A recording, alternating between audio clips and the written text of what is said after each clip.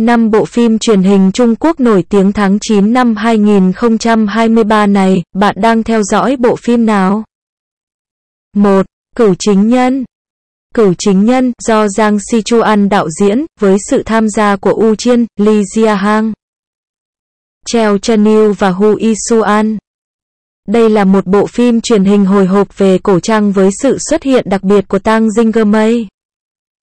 Yang Yêu Tong và Hai Lu, với sự tham gia của Bai Su, Chang Kango và Han Ye Châu. Và sự tham gia đặc biệt của Deng Quy Vở kịch sẽ được phát sóng độc quyền trên Tencent Video vào ngày 15 tháng 9 năm 2023. Vở kịch được chuyển thể từ tiểu thuyết cùng tên của Lee Boyu. Kể về câu chuyện của một cô gái trẻ Lin Rulan. Bất chấp sự phản đối của người bạn thân nhất của cô là Meng Oan. 2. Anh ấy bước ra khỏi lửa. Anh ấy đến từ lửa là một bộ phim chữa cháy đầy tâm huyết và cảm động do Tiên Y và Y Yong.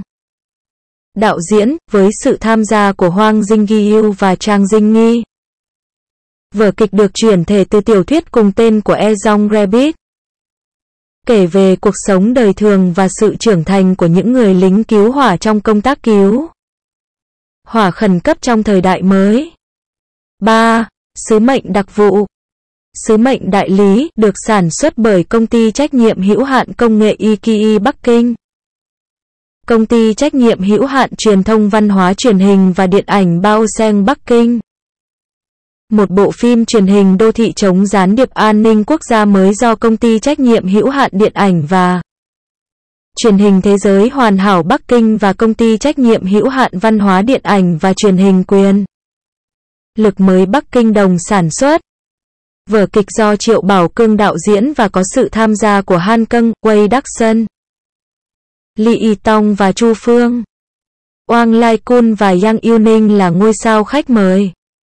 Wang Yang là ngôi sao khách mời đặc biệt và Chu Yêu Chân là ngôi sao thân thiện. 4. Cổng Ngọc Tây Giết ghét là một bộ phim tình cảm phiêu lưu hồi hộp do Su Chao Bin đạo diễn và có sự tham gia của Nini và Bai Yêu. Câu chuyện chủ yếu xoay quanh hai thế giới khác nhau trong và ngoài Human Pass.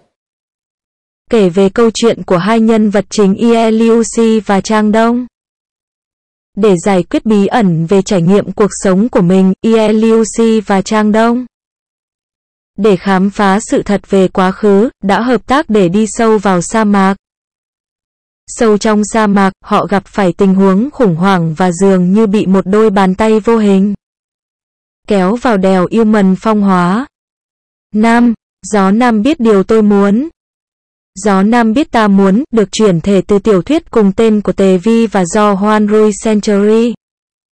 Đông Yang, phim and Television Media Co. Ltd sản xuất.